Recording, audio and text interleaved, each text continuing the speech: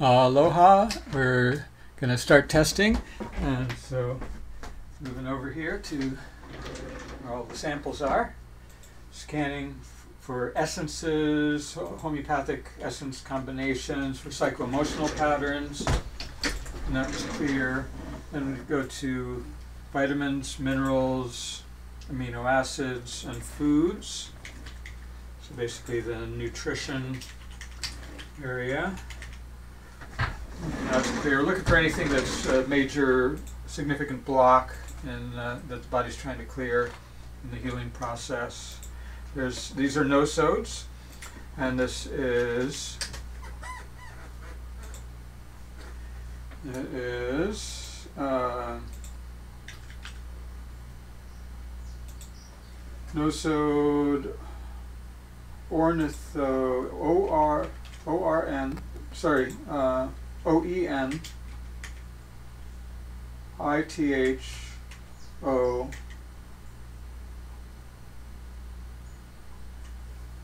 I gotta get a little more light on that. There's a magnifier there too. It's O R. I was right first. O R N I T H O. Uh, the rest is is worn off. I'll have to I'll have to check that uh, Okay. for interpretation. That's hasn't come up in a long time. Okay. And it's uh, ISO. Let's just see what that looks like. So it's just a resonance, but we want to see what it's resonating with. Okay. O E N. What is it? O E N. Oh, sorry. Yeah. O R N I T H O. Uh, and it's not not showing up in the database. No. Okay.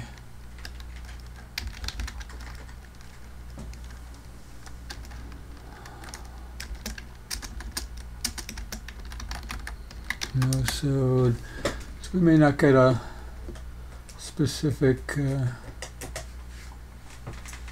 interpretation on that.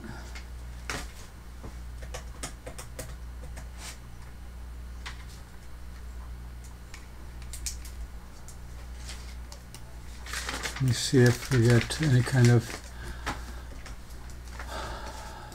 completion suggestions.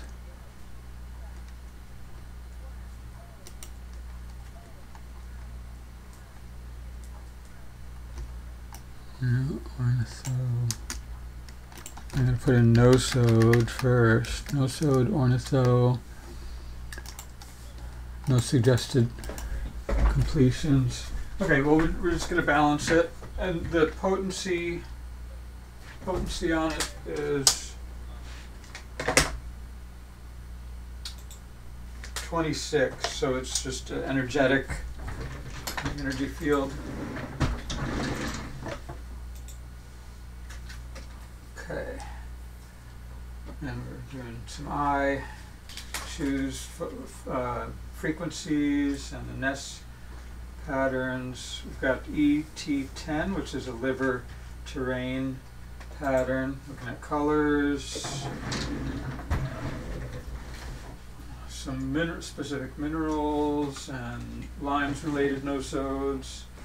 We've got the main area here 21 times 1. So it's the highest stress area. 21.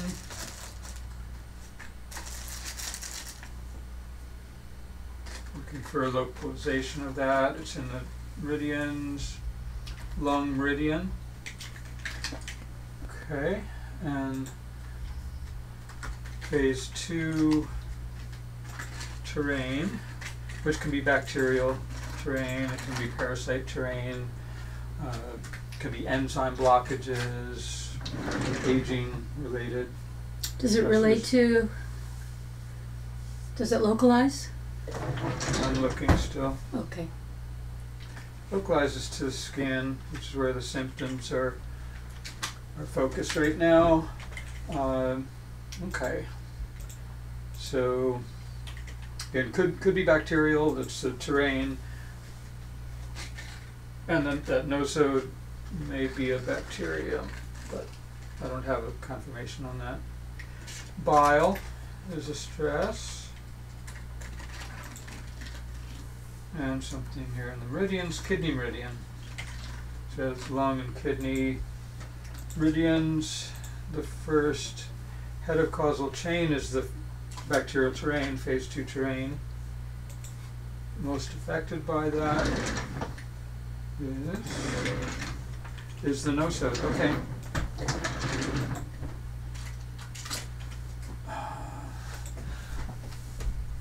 Let's see if I put in instead of nosode, which is a homeopathic term, if I put in bacteria, ornitho, still no no auto completion. Uh, no auto completion suggestions. Okay. But not not a problem. Um, yeah, and so we're looking for the the head of causal chain was the phase two. So we're Phase gonna- two affecting the nosode. yeah, looking for something to balance. Uh, we no longer have, we're no longer making the uh, First line. first line, which was a, uh bioidentical antibiotic compound that the immune system makes. So that's unfortunate, but uh, we've, so we've come up with a couple of, of good alternatives to that. They're very broad spectrum antimicrobial, antibacterial, viral, fungal, parasitic. Uh, and so this one's called CDS. It's a two component system. You mix them together, dilute it in water, and drink it. Just build up according to tolerance. And so it's water, a water purification Once a day? Thing. Yeah, uh, yeah, we'll, we'll, uh, we'll, uh,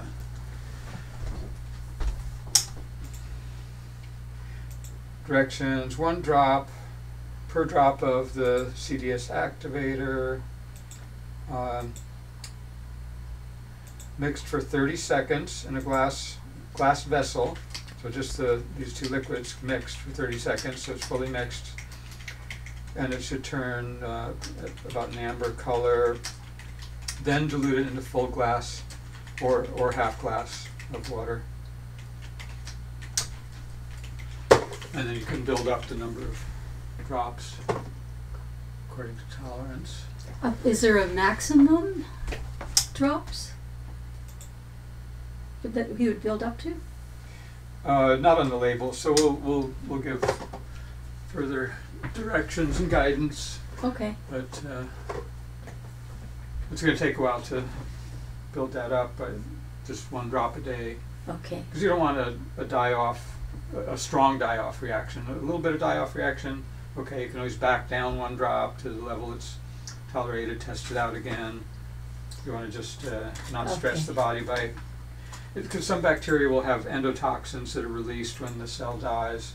You want the liver, or the kidney, which are, are um, the stressed areas to, uh, yeah, with the bile that's related to liver, and then kidney meridian is showing up. So it's good that it's not too bad. The organs organs themselves are not saying, "Hey, I'm stressed," but the and the liver Sorry. is an issue. Okay, so that's balancing. bless you. That's balancing phase two terrain. Okay. And anything else, and it's balancing the nosode. So so great. That's a good, good start. And if there is staph, uh, you know, that may not show up uh, energetically. We- We always have staph in our on our body. Uh, it's a normal flora on the skin, but uh, if it's overgrowing because of the terrain, this is still going to help to uh, knock that down as well, help the immune system. Okay, so the second layer we're going to identify now, and that's the kidney meridian. Okay, there's the head of causal chain. Most affected is lung. So kidney, these are the meridians, so it's the electrical channels which cleanse the connective tissue uh, that goes through that, those organs thinking about the function of the kidney in relation to the lung, the kidney's primary job is to eliminate acids uh, in the urine. And if it's not able to do that, do that effectively, efficiently, then there's more acids that the lung has to breathe out in terms of, of carbonic acid and can be stressed by whatever the other acids might be in the loop. So we're looking for a remedy for kidney meridian. The most common thing that will balance that is microbiome. So that's not it. And it's not the uh, transform, which is is the uh, cell-based organisms. It's not uh, immune intelligence, which also has microbiome in it. Okay. So what else?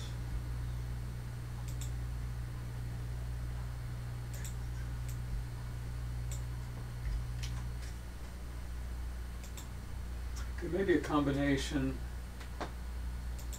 Yes, it's a combination. He's been pretty regularly taking the microbiome, I think, or not very regularly, but occasionally he Mhm. orders a bottle here. So Mhm. That would explain why that's not enough or not the thing that's doing it. It's going to be a combination with transform, which will be some other species, soil-based organisms. They'll make enzymes, again for this phase two enzyme bacterial terrain. Bacteria can grow and they have enzymes that can get energy out of stuff that our enzymes are not breaking down like they normally would. So what goes with that?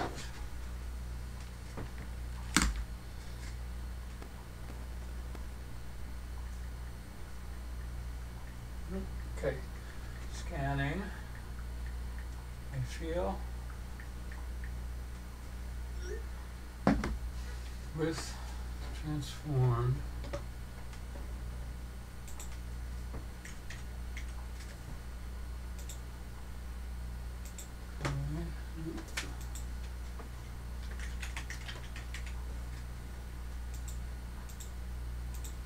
Perfect skin. Okay, well that makes oh, that's 'cause a that's gonna help restore the barrier function of the skin, which is where all these symptoms are showing up. That that will take a little time uh, to to to. It's going to be oral, so it's going to be feeding the skin from its formation, which takes about 30 days to reach the surface. But you may see it's, it's going to be helping before that because it's going to start improving that barrier function from the base of the skin uh, up. Okay. Is, is there the dosage on that just one a day? Yeah, one a day is fine. Okay. Okay. So Anything? Did the lung meridian balance on that that's layer? what I'm, I'm checking. So balance the kidney meridian. Yes, it does balance the lung meridian. So that's yeah, saying that's downstream, secondary, but where some symptoms might show up. And in, in Oriental medicine, the lung meridian is very much connected with the immune, the Wei Qi, the immune function of the skin. That's balancing skin. Nice. Still have some stress in the bile, so it's going to be liver related. But it does balance the liver terrain, ET10. The Infoceuticals are clear. We already cleared the nosode. We're good up here, so it's just appears to be the uh, bile. Is that correct? That's all I have left. Yep. Yep. Nice, nice. So, looking for balancing the bile. Free and easy. One a day. Uh, Chinese herbal combination free and easy wanderer, it's usually called in the full translation, but uh, wanderers in our culture aren't see, seen as, aren't so, don't have it so free and easy. so we just call it free and easy. Americans can relate to that. But it's the, it's the concentrates of the Chinese herbs without any of the the wax, the talc, the things that are added to Chinese tea pills, or the sulfur, sulfur, or pesticides that are often sprayed on the, the raw herbs when they're shipped over. So it's as clean and concentrated as possible. So just one capsule is going to give a nice support. It's not the, the full, you know, maximum dose. So just one a day. Just one a day Okay, again got it. is good. You can always experiment if you feel drawn to take more of of you know any of the capsules. You certainly can, especially uh, initially if you if you feel drawn to a loading dose. I probably wouldn't inc- I wouldn't do a loading dose of the, the CDS activator because of potential die off. Transform, probably similar. I'd just start with one capsule. Uh, but uh, wait, both- this which one is that? The transform, yeah, but transform perf- one a day, yeah, perfect, yeah. perfect All- all skin one, a day. but Everything's one a day. Okay. Yeah, everything one a day. But but if you felt drawn to do a loading dose of perfect skin and or free and easy, I see no problem with that whatsoever. Um, It could accelerate the, res- yeah, the uh, yeah, just improving just, the uh, symptoms. just move things forward. I I- I don't see any downside of that. You know, any reaction likely with that. So that is so what about uh, some relief for the uh, Topical. topical Yeah, like MSM yep, lotion yep, or yep. ozonated olive ozonated oil? olive oil. to Both recommend those things. both of those. Let me. I'll double check, but those both would be really great. The, the MSM lotion's out in that other fridge in the hall now. Okay, I'm uh, going after the ozonated olive oil here first. Okay. Yes, beneficial ozonated olive oil. So that's going to be cleansing. That's uh, if there are bacteria uh, involved, uh, that's going to help knock those down. It's oxidizing. It knocks down the bacteria. But uh, if there's an open wound, open sore, you know, oozing, you want to put it basically around because the oxidation right in the wound can make it a little red, and then you don't know if the redness is due to infection or if it's due to the, the oxidation, the cleansing. And some people find it really soothing to put it right in the sore too, so you can Yeah, you can play with you know, that, but- Depends. So you can definitely play with that. I would start with it around an open area, yeah. and and some's gonna it melts and it's gonna tend to ease its way into it a little bit. Uh, if that's fine, you, and you feel like putting it more directly in, you could experiment, like on one spot, and see how that how that goes. See how it feels. Your body knows. Your body's yeah, smart. yeah, yeah. Let me see which uh, of the.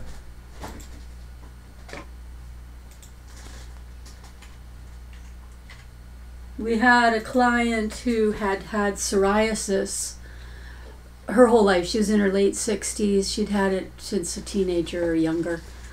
The back of her neck was kind of like an elephant skin. And uh, she started taking our perfect skin. She took three a day.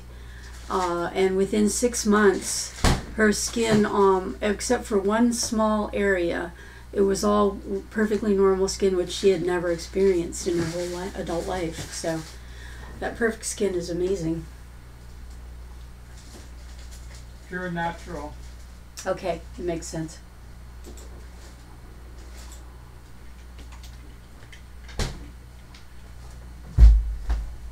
The unscented pure and natural Yeah. is perfect.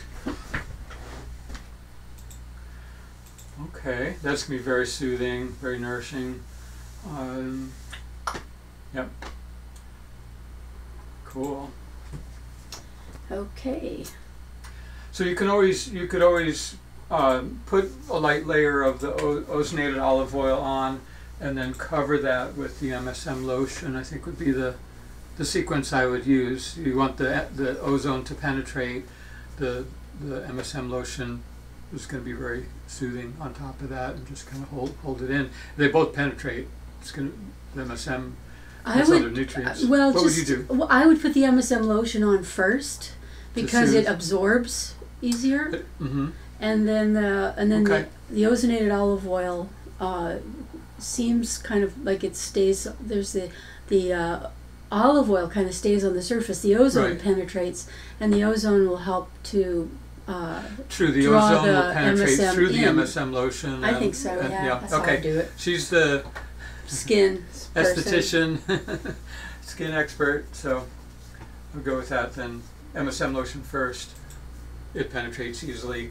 And then uh, you're, you're going to be kind of blending the ozonated olive oil into that if you're putting it on the same spot right immediately afterwards. Yeah, because it might not use the ozonated olive oil everywhere. You just use it on the really tough spots, you Yeah. know, where they're scabbing and, uh, you know, and, Yeah, and real more, super more itchy. toward infection or you think on Yeah. the, on the itching areas that could help too. Yes, it's very Okay, helpful for itching. Great. yeah, great. yeah, and so is the MSM lotion. Yeah, They both are. yeah, yeah. So, but you can explore it. You could try it one way first. You know, try the Yep. MSM first, and then the ozonated olive oil, and then maybe the next time try it the other way. See what you like better. Yeah, if you find a particular uh, solution combination, Yeah, you can let us know works, what you let us what know. worked for you. then we'll know. Put that in our data. Yeah.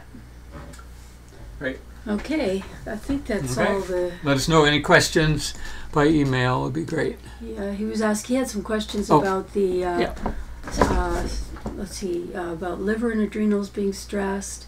Um, Which was we saw bile, liver terrain. We saw the kidney meridian. Those are all related. Adrenals for sure are you know the main anti-inflammatory uh, system, but we didn't see directly that the adrenals needed uh, direct support. No. So that's that's good. Yeah, liver more. Keep going. The vitamin C is helping support the adrenals for sure. Just make sure that uh, any supplements that you're using, like the garlic, the echinacea, well, not the echinacea, unless it's in a What could be in a- tablet, yeah.